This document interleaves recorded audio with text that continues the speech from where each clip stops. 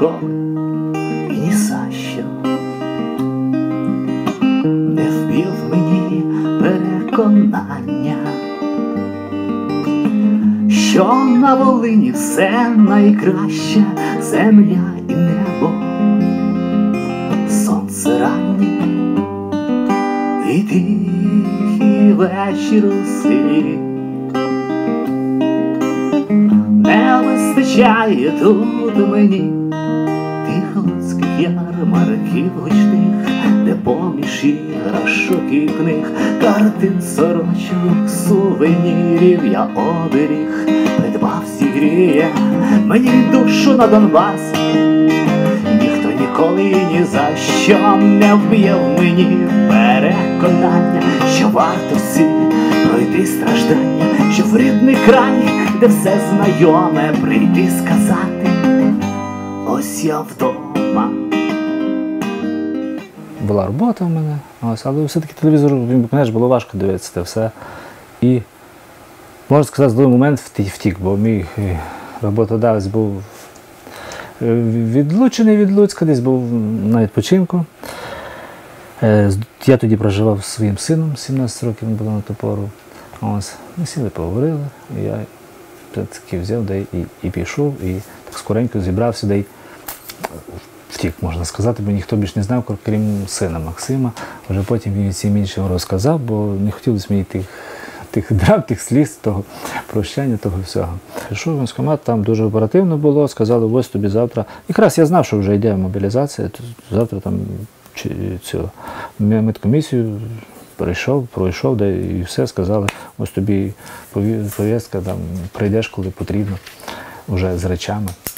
То дуже було оперативно і так і сталося. Трошки там були ніби чужі в 72-й бригаді, там Білоцерківська, в основному центральна Україна люди.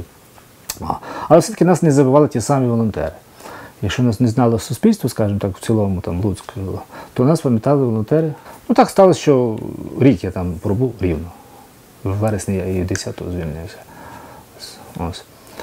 Мінус відпустку 9 днів на Різдво. Так сталося, що майже всю службу я простояв в околиці села Граніт, ну, на різних позиціях, але е, рік е, тільки там, в Граніт. Я був стрілець зенітної установки ЗУ-23-2. В якусь пору я був стрільцем на тій зенітці. Потім довелось е, у нас в моєму підрозділі шофер пішов у відпуск, захворів і не повернувся, то мені довелося сісти за кермо. Просто так довелося, тому що більше не було кому. Я згадав, що колись їздив на машині, не маючи ні, ні, ні посвідчень, ні навчання, нічого. Але думав, що це буде тимчасово, але виявилося, що на тій машині я так і, і доїздив вже до кінця служби. Це той самий підрозділ, був мої хлопці, тільки я з пересів, виходить, з кузова в кабіну. Ну я так собі жартував, що в принципі. І там, і там потрібна робота, бо якось раніше сміялися, а ну так, а, шофер, значить, він там собі не має відношення до, до бою, в принципі. Але, але якщо потім коснулося, все-таки має, тому що о, шофер все-таки грає першу скрипку тоді, коли бій відбувся, коли треба десь втікти, всі тільки роблять, що моляться, аби, аби встигнути виїхати. Слава Богу, в моєму підрозділі всі залишились живі, двох отримали поранення. Я там тоді так само чудом не, не отримав поранення. Ну так треба було, комусь треба було і, і бути там, і щоб допомогти іншим. Хотів мати фотоапарат і інтернет. Прислали мені з дому телефон непоганий, Sony Xperia. Ось на ньому я і працював. Навчився перейти на клавіатуру. Спочатку було важко маленько перейти, але перейшов. Так само написав щось, маючи якісь там сторінки в інтернеті, виклав. Побачив, що є реакція просто. Воно мене підштовхнуло. Я би там перші, перші там рази я писав, ну, через місяць, скажімо, через два. Потім я почав працювати вже стабільно. Я знав, що на вихідний треба мені в суботу два, неділю два вірша викинути. Ну, в якійсь мірі це було все. Це було роздуми. Дійсно, людина, яка хай там стоїть сьогодні в окопі, але і згадує те, що було вчора, і, і, і думає про те, що буде завтра. Тобто вірші дійсно на різну тему. Те, те, що боліло, те й писав. Воно відчувається просто, що, що ці вірші в більшості вистраждані. Через те вони і мають відгук такий, через те ось я зараз Через день десь іду, їду, маю якісь зустрічі, запрошення. Ось через те, що дійсно відгукнулися люди на, на ці вірші, і з- якось так вийшло, що ця війна дійсно вона мені допомогла, скажімо так, заявити про себе як про людину творчу. Уже потім почав дійсно, приїхав з гітарою, іноді щось співав, грав. Ну, це було навіть не так часто, тому що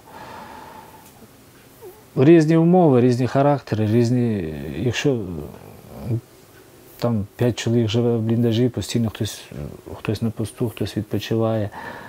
Не завжди зручно може було ту гітару брати, і може не завжди було і, і хотілося. Через те воно більше все-таки писалися вірші.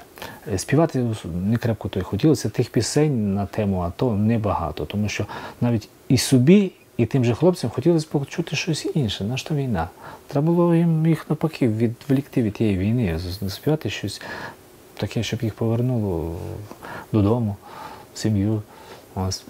Щоб дійсно якось така реабілітація була психологічна. Назва якось виникла ніби і випадково, але я тепер розумію, що випадковості немає ні в житті взагалі, так і з, цією, і з цією назвою, тому що, е, мабуть, краще не скажеш. Ну, Так само мене фото. Мабуть, тому що ну, все-таки Хоч ми якось люблю я дивитися на небо. Всі ми дивимося туди і маємо якусь надію, навіть коли з молитвою звертаємося до Бога, чи просто так, якусь надію маємо.